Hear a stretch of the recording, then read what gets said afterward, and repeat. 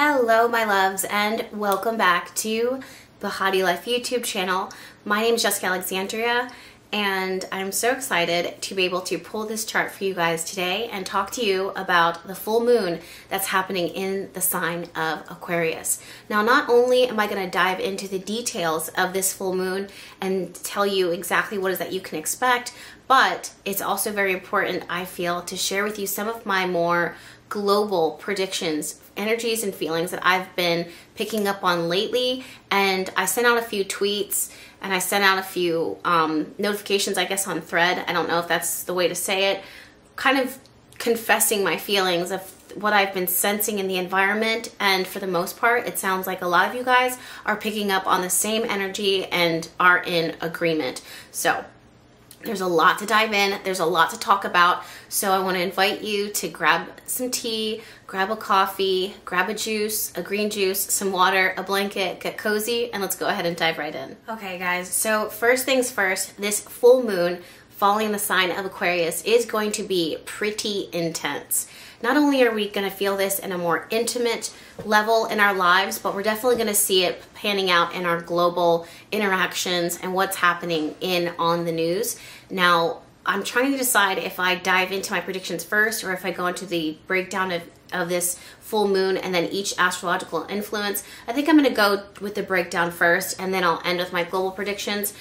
But it's hard for me to even do that because Aquarius is connected to social media, social networking, the information that is being gathered and shared on a larger scale, on a, on all across the globe that is being made known to us now presently. So at the time of the full moon, this is going to create major eruptions. Now, like I said in the very beginning of this video, I've already been sensing and picking up on some major political unrest, but I also feel environmentally, of course. I mean, you don't need to be psychic or intuitive or gifted in order to sense that, but it's almost like this building up of energy. So I really want us to put a pin in that because when we have full moons, that energy that we're already sensing has a higher chance than not to reveal itself, especially in the realms of explosions or things that come in like a lightning bolt.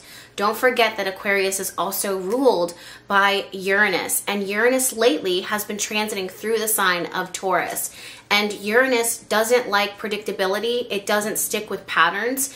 It moves in erratic, unexplainable, unexpected behaviors. So basically, what we do here on Earth is we give ourselves a lot of flexibility because we don't necessarily know exactly where this is going to drop.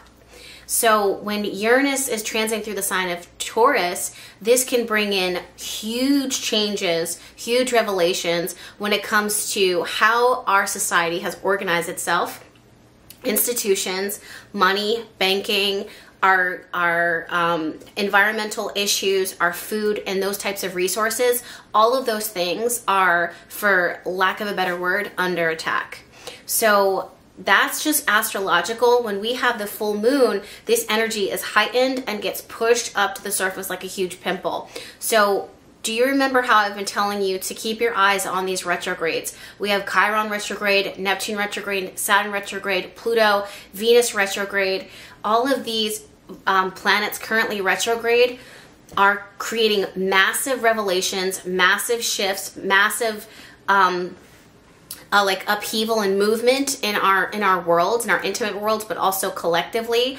But more specifically, uh, Neptune, Saturn, and Pluto, those planets being retrograde, are impacting the greater good in such a large way that brings revelations and things that we might. I don't want to say that we weren't expecting. We just are in awe that it's happening here now. So this could create actually no i'm going to go ahead and dive into my my my vision that it is that i've been having i really truly feel that a public figure a major public male figure is going to be removed from a position of power or completely stripped of power this could it's someone who I don't know who this person would be. This is just my internal sense of my feeling.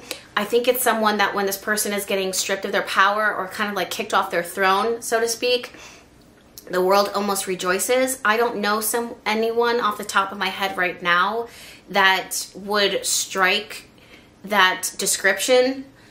so I am going to follow my own advice, take a step back, and wait to see how this energy unfolds. But for the most part, I do see some really interesting changes and shifts in power at the time of the full moon, specifically revolving around masculine ener- energy and leadership.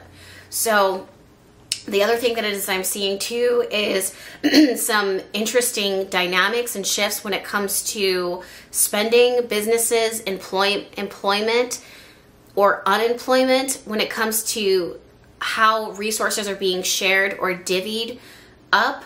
This is for me personally, because I live in the United States, I think that this energy is coming directly from the United States or around the United States.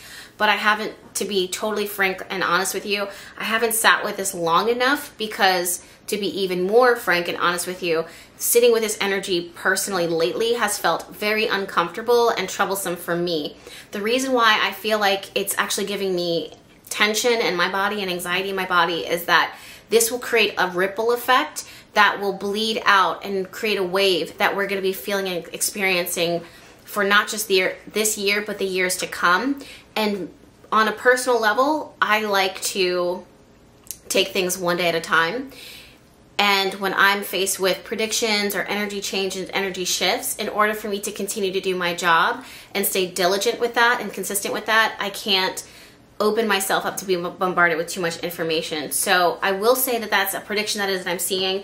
And as I'm looking at the charts now, it's it's it almost feels like it's being supported even further. If you guys hear any knocking or anything like that, Nova's here. Um, she's been very clingy lately. So and also clearly here is Franklin. Franklin's here as well.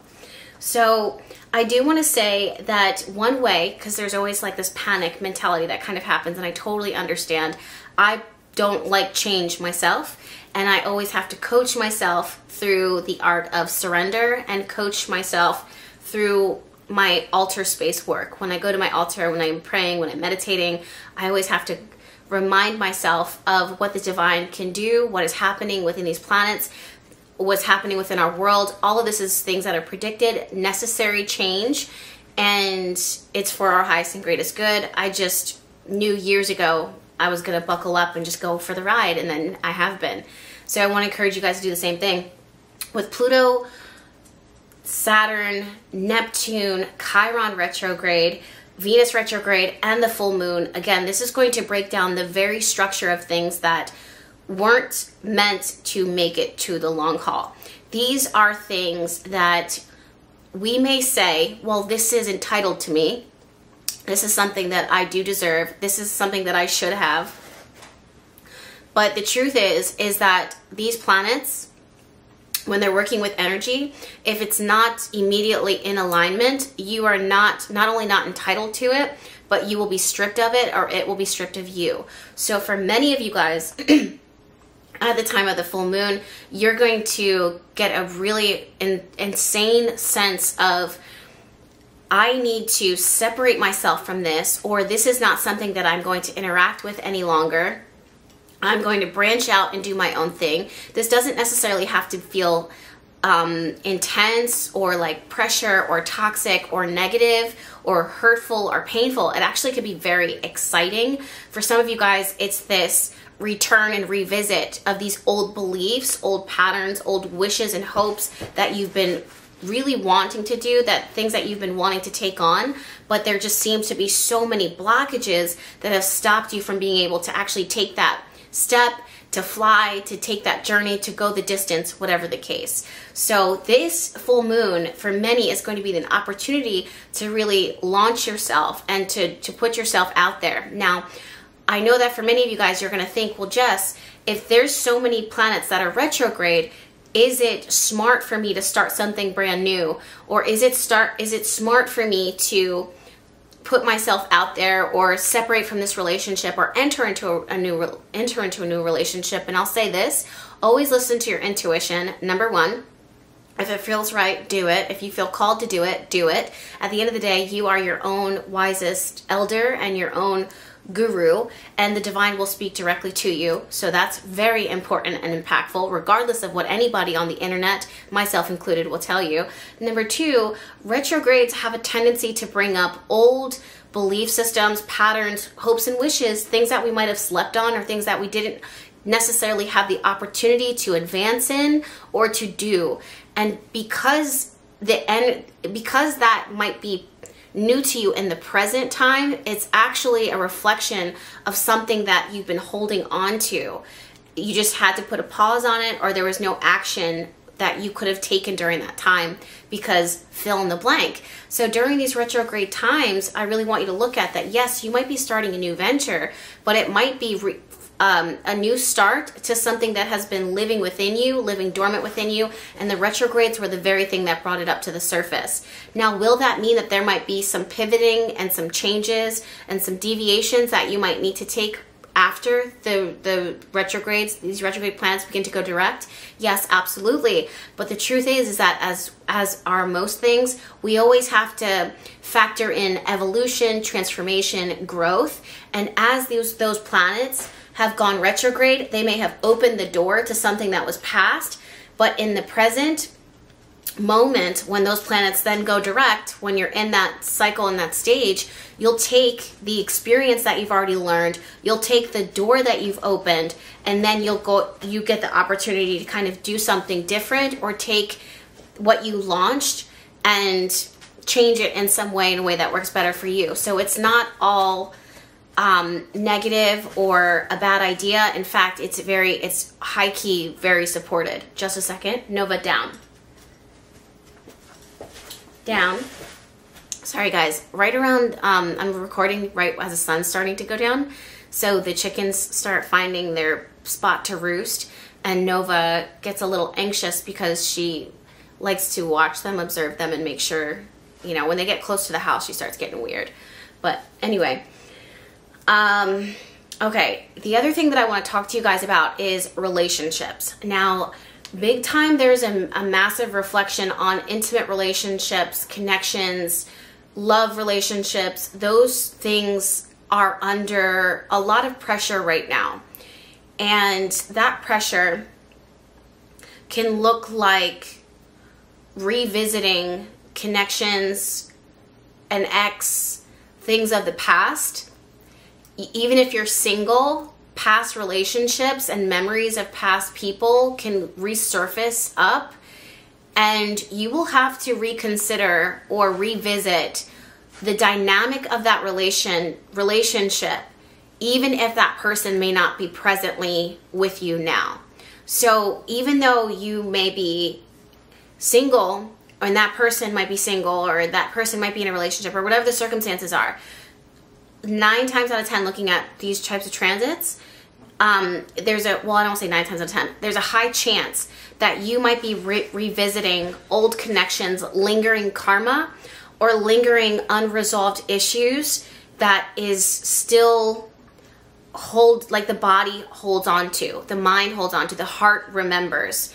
So this full moon is another chance for you to whether you invited it in or not kind of revisit, go down that trip of memory lane and decide what is that you're going to do with this. Now, remember, Aquarius is very emotional, believe it or not, but tries to disconnect from their emotions in order to do the best thing for everyone.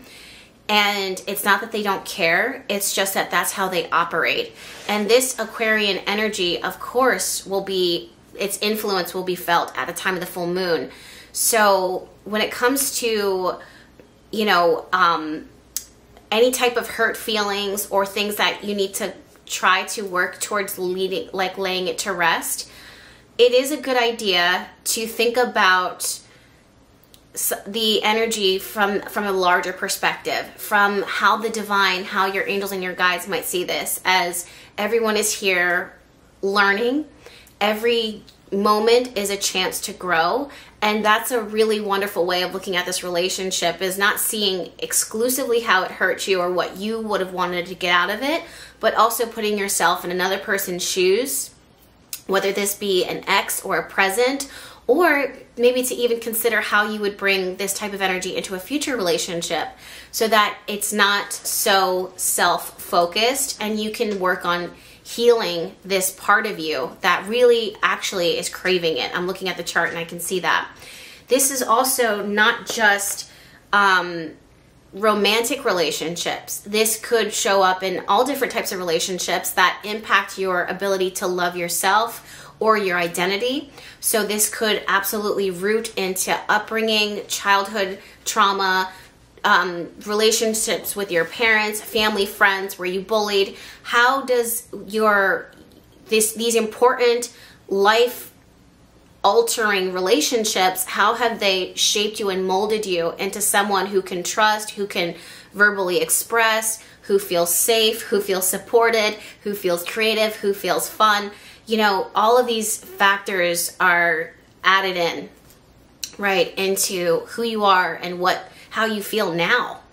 And again, Spirit is asking you, the astrological charts um, are asking you to really, if you can, take a step outside of yourself in this moment and see something from someone else's perspective and find a way to forgive, to understand, but also vow to bring a different energy to this planet because Aquarius is also known for its consideration for humanity.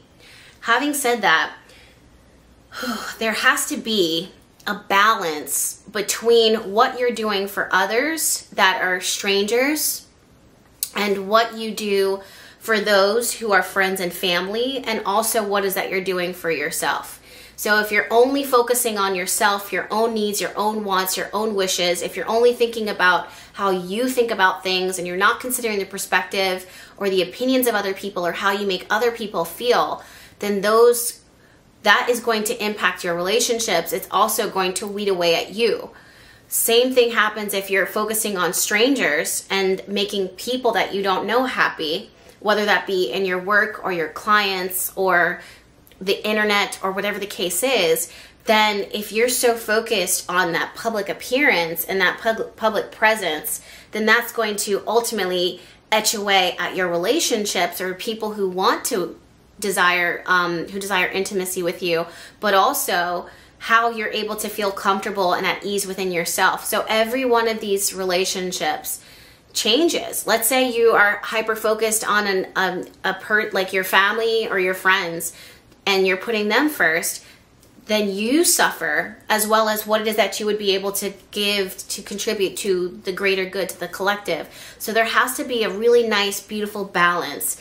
And the Aquarius full moon is going to inspire what that might look like for you and also draw your attention to any type of repercussions or punishments for a lack of a better word if you haven't already secured that level of balance. Now, I also need to quickly talk about healing because Chiron retrograde right now in the sign of Aquarius in the sign of Aries is bringing a huge focus, especially triggered by Venus retrograde, um, a huge focus on how we prioritize ourselves or do not do not serve ourselves. We underserve ourselves. It's every everyone it's different. So Chiron is the wounded healer. It brings up our core Achilles tendon energy that's like if this spot gets hit, it just completely takes you down. So this could be how you identify yourself. I am someone who shows up to the world and I give to them. What happens if you're not giving to, to the world? Does that mean that you as a person suffers? Does that take away from you in some way? Does that trigger you? Does that set you off spiraling? So this reflects how you view yourself, how you define yourself, and begins to co- create a huge question mark over it. For some of you guys, with Aries energy, this is a very fighting, very um, active or um, physical, like physically active, meaning like maybe for masculine energy or masculine energy within you. This could be um, how you define yourself as an athlete. Let's say you get hurt and you can't perform at the level that you once did. Do you still have inherent value or do you feel like you're less of a contributing member of society or that your your worth diminished because you can't operate. You're you have to you there's pain there or there's a part of you that just can't be stretched to that max anymore. Same thing when it comes to work. Are you someone who always has to have the to be the leader or to show up or to you know be be a pioneer. What does this look like for you? Or maybe you're someone who has never been able to express aries energy. Everyone is different.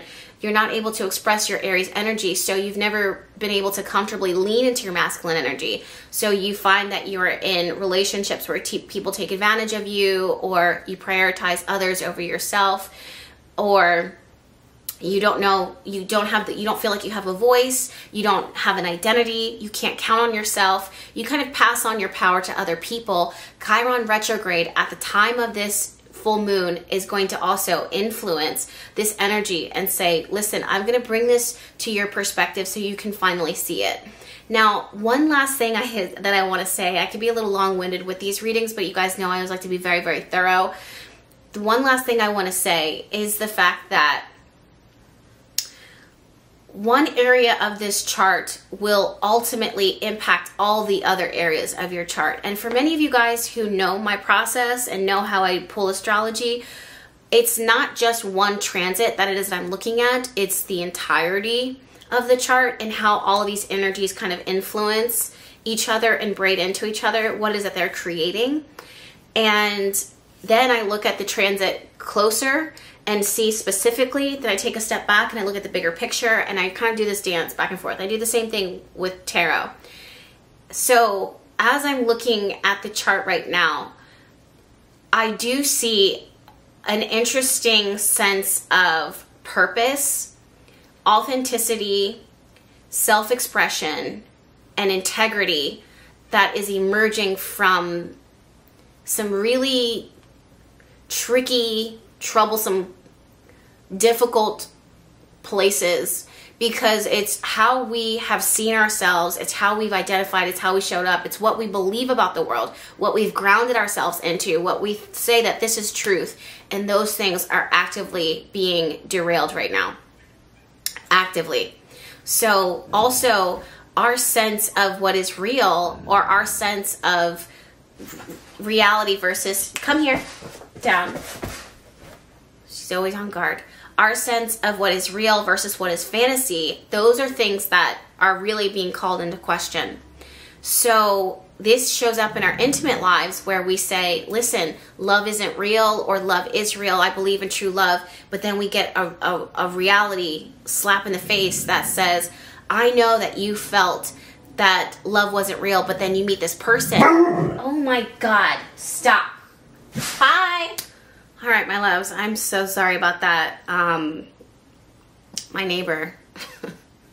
I'm still getting used to like being in one place at one at one time um, and not moving. And my neighbor is lo- lovely, lovely.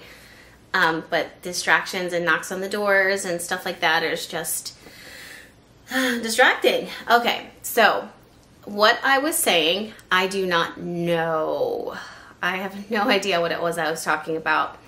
So I'm just going to move on. I do want to say too that in this um, full moon, that communication is has a, a likelihood of being strained and miscommunication, even though it's not Mercury retrograde, but um, it's still with Mercury directly opposing Saturn and with the influence of Mercury retrograde, which we're going to be feeling towards the very end of this month, later on August 23rd or 28th. I can't remember off the top of my head right now. I'll link it down below. I'll pin it in the comments. But um, I don't even know if it's necessarily miscommunication. I think that people, how this is showing up is that people are saying what it is that they mean to say, but it may be a misalignment for what you're what both parties kind of want it to look like. So let's say this isn't relationship. Let's say this is business and planning. This is where all people sitting at the table are presenting their opinions and presenting their perspectives, but you're you hit your head like you guys hit a brick wall. And no matter how much negotiating that it is that you do, it seems like nothing can really, no one's really backing down. And we can't come to a, an agreement on how this should pan out. So it almost feels like it's better to take a step back, to take a break, to take a pause, to focus on outside activities and outside things instead of trying to figure out how we're going to merge and meld together. And what I would do using this energy is I would see this as an opportunity not to get on the same page, but to be able to clearly see where someone, what page someone is on at this moment in time. Now, I do want to say that Aquarius energy, Gemini, and Libra, um, and also Leo, I feel like you guys are going to be feeling this this full moon the most. Those types of placements, you are absolutely going to be feeling this energy the most. Um, Taurus, Scorpio, you're going to be feeling this energy second, and the rest are going to not only say skirt by, but fare better, unless you are in cahoots with or connection with someone who's under this influence or under those transits because again like it's like if your partner is an aquarius and they're stressed out and they're triggered or they're exhausted they're burnt out they're totally considering a new change in life or a new pattern a new career path or whatever then it can be shocking how this could impact your personal life because this might be like a zap in the income or just not a good night because that person's grumpy or the week might be a little tumultuous and that might leave you disappointed. Do you see how kind of kind of spills out? So just know that if you're dealing with these types of energies, this is a little extra grace could be kind to those people at the same time.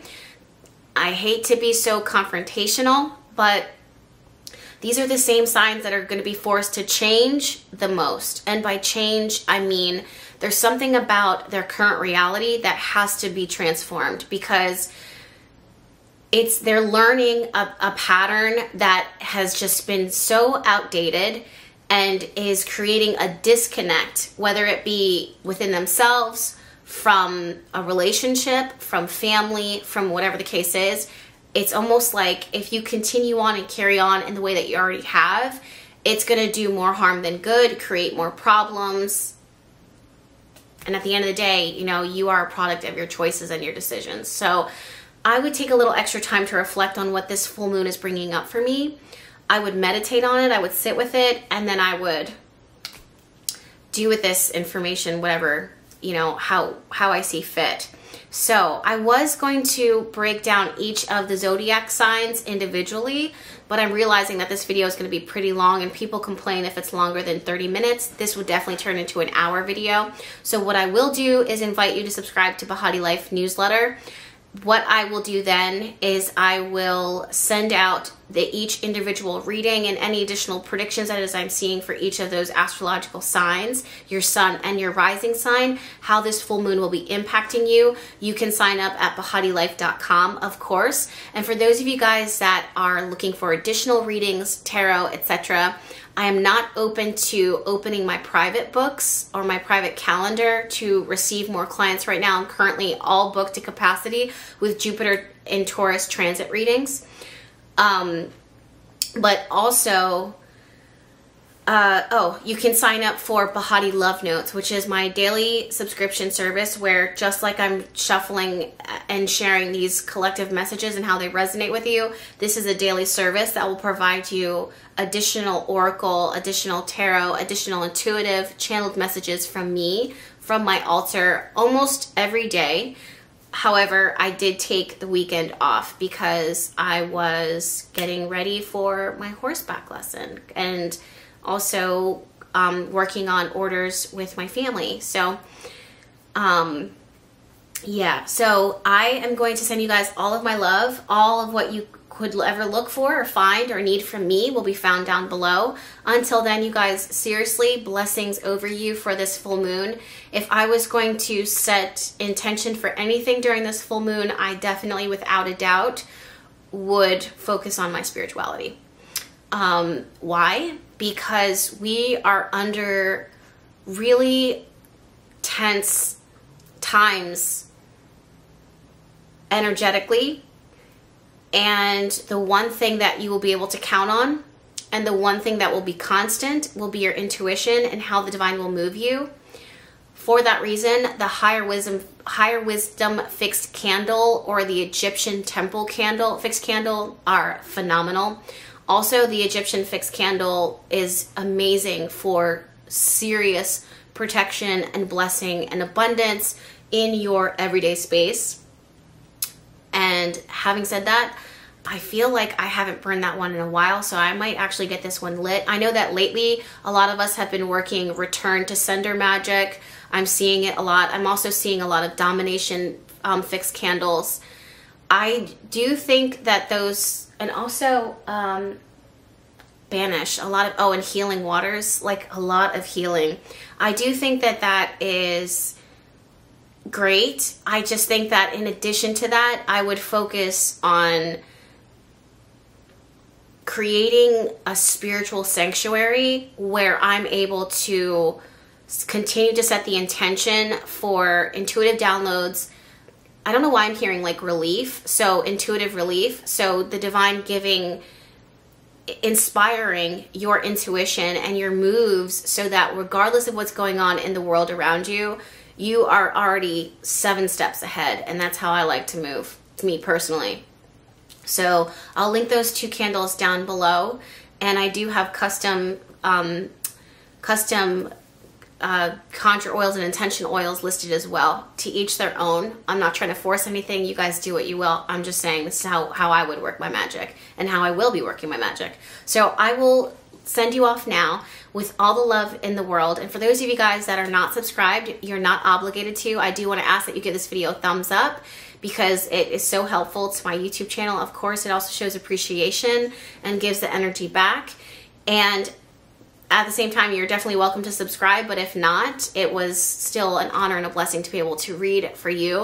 I'm going to go ahead and text my neighbor back and um, tell him thank you for chasing down one of my chickens.